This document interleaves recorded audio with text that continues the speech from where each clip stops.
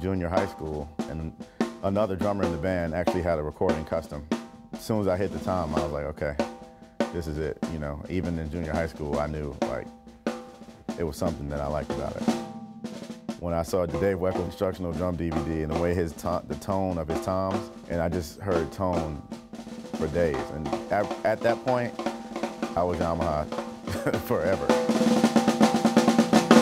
I do a lot of different styles of music, whatever the situation. I can use the same kit on 10 different styles of songs, and it just works.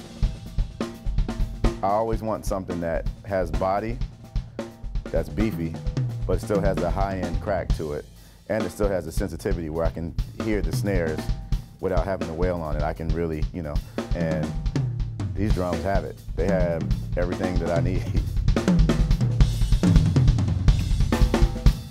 what also I like about aluminum drums, they have a little extra twang on them. So sometimes I want that, you know, that kind of twang and I can play towards the edge of the drum and get that little twang that I like to feel. I like to be able to have different parts of the drum that I can hit and it doesn't sound the same.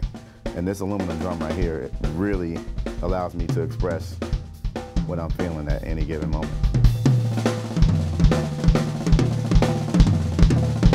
You guys take what the majority of the drummers think and make that happen. I see the evolution of each time I come back and hear the drum to the finished product that you guys really took to heart what we all said, this would be cool if you did that, or this would be cool if you did that. And when I hit the drum, I feel that. I feel the heart and really the willingness to want your drummer, your artist to be happy.